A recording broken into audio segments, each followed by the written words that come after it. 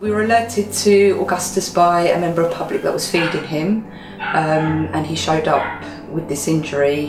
Um, the next morning she managed to contain, contain him in her property and called us straight away and we went out to collect him. He looked in quite a lot of pain. Um, he wasn't very happy um, but we, we got him back to Mayhew and our vets sorted him straight away. It started off as a cat bite abscess, which is quite common in cats, especially unneutered male cats. It was actually quite necrotic when he came in, so there was a lot of dead tissue around, and there was also a lot of pus, um, so it was quite badly infected.